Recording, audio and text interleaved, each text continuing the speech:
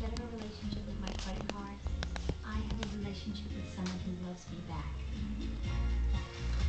And never disowns me. Where did you get your moves? No, it just comes naturally. All right. It's a mystery.